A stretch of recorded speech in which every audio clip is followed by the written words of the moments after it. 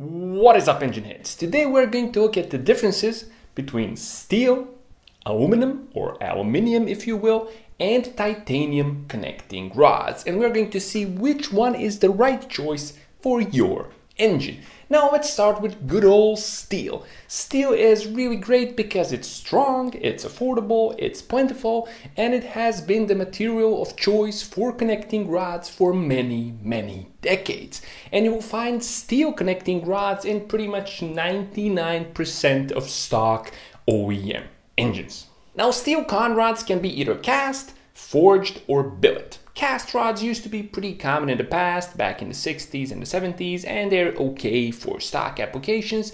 But if you're interested in increasing the power and torque output of your engine, cast rods are usually a pretty bad idea.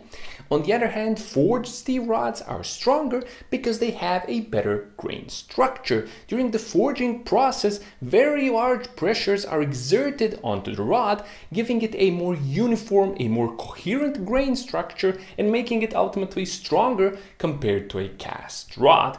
And today, forged steel rods are pretty common even in OEM stock engines and they are a great choice for a very wide variety of applications.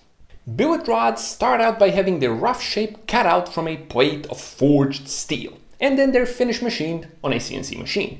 And this is good because it gives the billet rod the same grain structure as the plate from which it came from. And this means that billet rods have a very nice uniform longitudinal grain structure which makes them very strong. But there is a minor downside to this, and that's that billet rods lack the circular grain flow that you can find in the big end of forged rods, which means that the big end of billet rods is a bit weaker than the big end of forged rods, but experts agree that this is a minor difference, usually 10 to 15% decrease in strength compared to the big end of a forged rod. But billet rods do have an advantage, and that's that they lack the surface degradations present in forged rods that occur during the forging process. And this means that a billet rod has the same material of the same carbon content and the same quality both in its core and on its surface, which means that billet rods are better at resisting the formation of cracks compared to forged rods. So those are the three main manufacturing processes of steel rods and as you have seen they influence the strength of the rod to a great extent. But what about the material? What kind of steel is actually used in steel rods? Well, OEM rods typically employ steels from the 51 series, stuff like 5130 or 5140 for example. Now the last two digits are important because they indicate the carbon content in the alloy. So 5140 for example has 0.4% of carbon in it and carbon is good. You want carbon because it makes the material harder and the rod stronger. Uh, now aftermarket forged rods typically employ stuff like 4340 which is a really good alloy and in addition to having a high carbon content, it also has other elements in it which make it a superior and stronger alloy compared to pretty much anything in the 51 series. So steel rods are our benchmark. This is what we're going to compare everything else to because they are excellent all-rounders and they pretty much do everything right and they fit an extremely wide variety of applications. Steel rods are great at handling both compressive and tensile loads, and this is something a connecting rod gets to experience many, many thousands of times per minute. Uh, steel has a tensile strength of 200,000 psi, which means you have to do something pretty crazy or stupid to break it. On top of this, steel has excellent fatigue life the material doesn't get tired, and this is very important for an engine if you want to do a lot of miles with it. Uh, to understand fatigue life, uh, think of a paperclip. A steel paperclip uh, is just like a steel rod in the sense that it's never going to fail unless you push the material past its yielding point. So if you use a paperclip normally, it's gonna last forever. But if you bend it back and forth past its yielding point, it's going to fail. And steel rods are just like that. If something doesn't go wrong within an engine, they're typically going to last many, many hundreds of thousands of miles. Now let's take a look at aluminum or aluminium connecting rods. Now we all know that aluminum is a weaker material when compared to steel. Uh, high carbon steels usually have a tensile strength of around 200,000 psi, while aluminum alloys used for connecting rods typically manage around 95,000 psi. So why in heaven's name would you put something that's twice as weak inside your engine and then expose it to all the extreme loads of engine operation? Well, you would do that because aluminum is a lot lighter than steel. And when it comes to performance engines, light is right. The lighter your rotating assembly, the better. Because a lighter rotating assembly is easier to spin, which means more energy is spent on spinning your wheels rather than spinning your engine internals. A lighter rotating assembly also means that your engine can rev higher and that it can reach the high RPMs faster, which means you can keep it in the sweet spot longer. Now let's take a look at a chunk of aluminum and a chunk of steel of the same size. Now the chunk of aluminum is typically going to weigh just one third of what the chunk of steel weighs. And as we have seen, the chunk of aluminum is going to be approximately twice as weak as the chunk of steel. So what does this all mean? Well, it means that because aluminum is three times lighter, but only two times weaker, you can make an aluminum rod have the same strength as a steel rod for two thirds of the weight of the steel rod. Yeah, you're gonna get it. Uh, the result of this is, in reality, that aluminum rods look like steel rods that go to the gym too often. They are very, very beefy and have massive cross sections, and these are needed to make up for the lack of strength of aluminum. And in practice, an aluminum rod, because it has more material, is only going to be 20 to 30% lighter than a steel rod. Now, 20 to 30% doesn't sound like much, but it adds up. 20 to 30% on every rod makes a big difference for the weight of your rotating assembly. The kind of difference that sets apart first place from second. But there's more good news because aluminum rods can be the shock absorber of your engine. Compared to steel rods, aluminum rods sort of give in and absorb the shocks and stresses and loads generated by engine operation. In contrast to steel rods, they transfer less shock and stress onto your bearings and onto your crankshaft. And this is great because it means longer bearing life.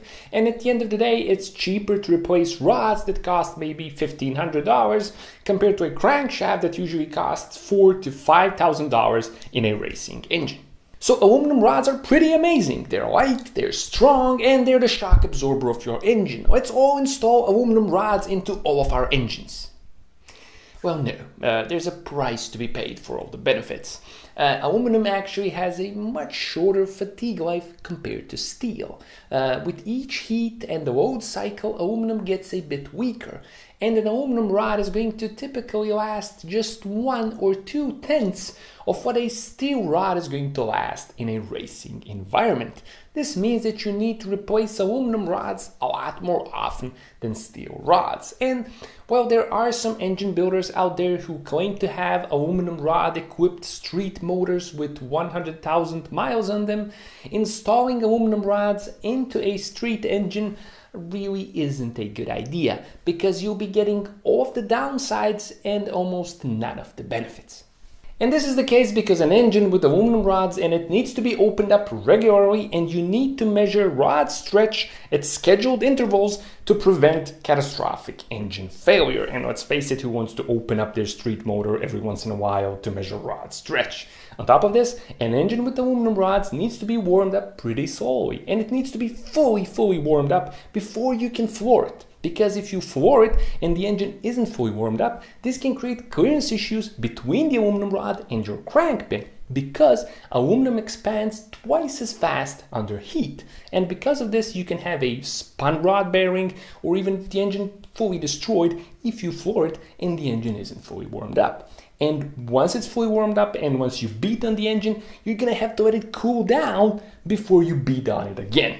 So even if a street motor with aluminum rods can do 100,000 miles, it's still gonna mean that you have to baby the engine all the time and open it up every once in a while. And let's face it, that's, that's just a pain with a street motor. When it comes to the benefits of aluminum rods, they're actually only realized under full engine load. And as we all know, street motors actually spend only a fraction of their time under full engine load. And this is why we see aluminum rods mostly in drag racing. Drag racing is the ideal environment for aluminum rods. During a drag race, the engine gets loaded up fully for a pretty short period of time, which means you're harnessing all the benefits of the rods, but you're still giving them minimal abuse and stress because the race doesn't last very long. On top of this, most serious drag racers open up their engine and inspect it pretty often anyway. And all of this means that drag racing is the optimal application for aluminum rods. So unless you want to push your quarter mile times and want to take your drag racing engine to the next level, you really don't need aluminum engine rods. You may want them and you can go ahead and install them into any engine, but be sure you're harnessing the benefits and are able to handle the downsides.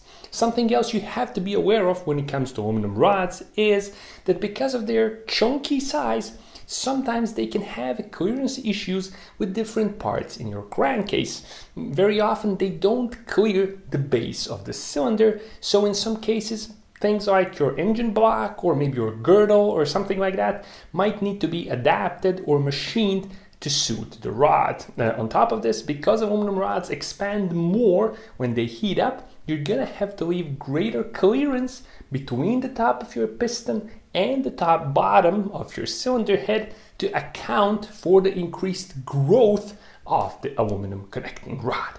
And now, the exotic dude in the bunch. Titanium. How does it compare to steel and aluminum as a connecting rod material? I'm sure you've heard of people describing titanium as an incredibly impressive material, some even saying that it's even stronger than steel. This is actually a bit misleading. Titanium is impressively strong when compared to its density. And for example, a typical titanium connecting rod alloy is going to have a density of 4.8 grams per cubic centimeter. Uh, a typical steel connecting rod alloy is going to have a density of 7.8 grams per cubic centimeter. So as you can see, steel is almost twice as dense as titanium. And that of course means that it's almost twice as heavy. So if we would make a identical connecting rod out of steel and aluminum, the aluminum rod would be 44% lighter. This is really impressive, half the weight. But in practice, titanium actually behaves a bit differently to steel and connecting rod design must take this into account. So in reality, on average, titanium connecting rods are usually 20 to 25% lighter than a comparable steel rod. And although there are some impressively strong titanium rods out there, on average, titanium rods do sacrifice a bit of tensile strength compared to forged steel rods, and on average are maybe 5 to 15% weaker than a comparable forged steel rod. So titanium is less dense than steel, which means it's lighter, but it has very similar strength. And that's great because it means that titanium rods don't need to be super chunky like aluminum rods to achieve the needed strength. And in fact, titanium rods usually look pretty similar to steel rods. Also, they have a fatigue life that's better than aluminum rods.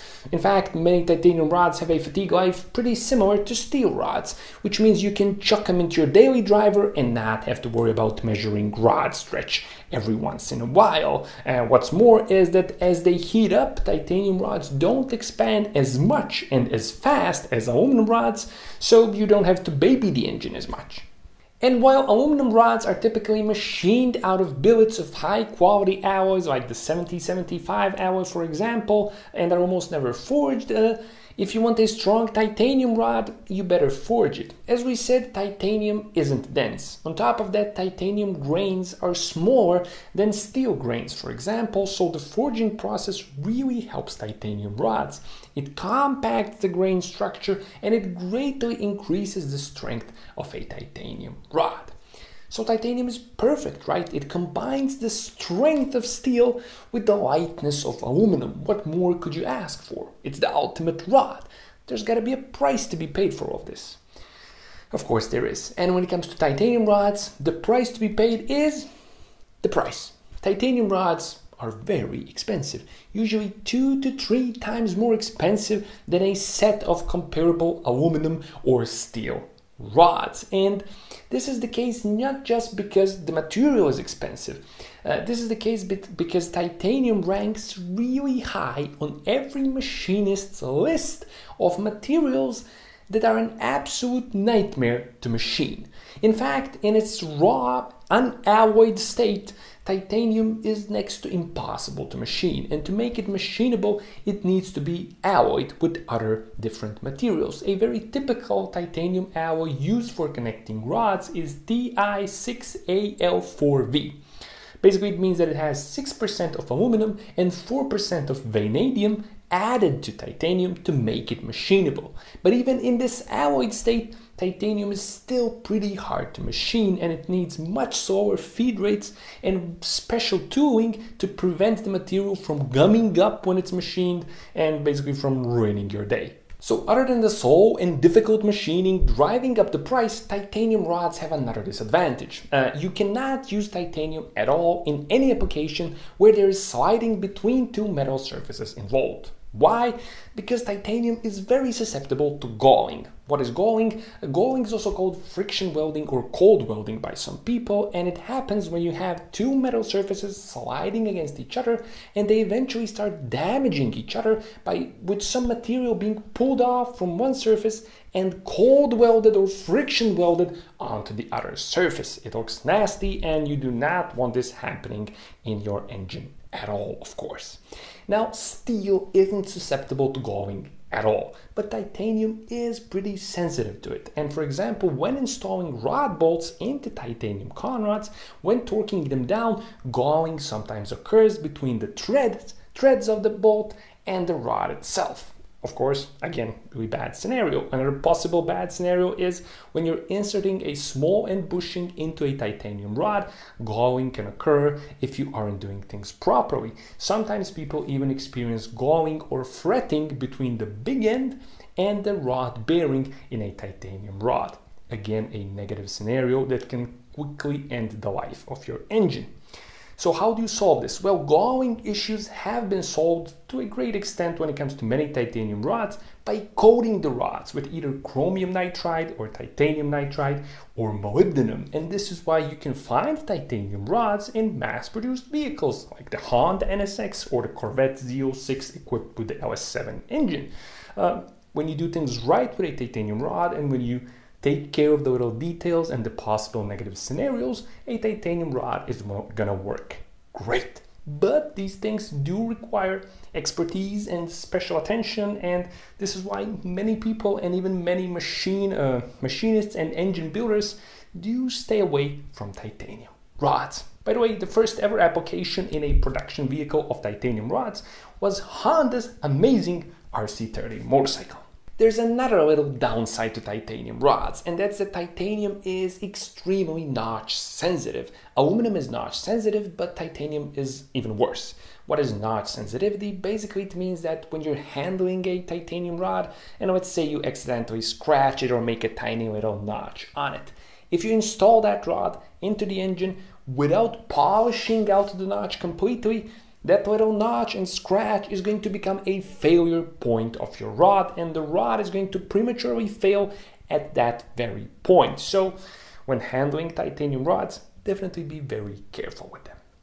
So yeah, that's pretty much it when it comes to the differences between steel, aluminum and titanium as connecting rod materials. Here we have a little table. As you can see, the table is pretty silly, but it is still useful and it does give you a general overview of the advantages and disadvantages and the best sort of applications for each of the three different types of rods. As a general rule of thumb, 8 out of 10 scenarios, a steel rod is going to be just fine. The other two scenarios might benefit from an aluminum or a titanium rod. So yeah, there you have it. That's pretty much it when it comes to this little video. I hope you found it useful and informative and even maybe a bit entertaining. As always, thanks a lot for watching and I'll be seeing you soon with more fun and useful stuff on the D4A channel.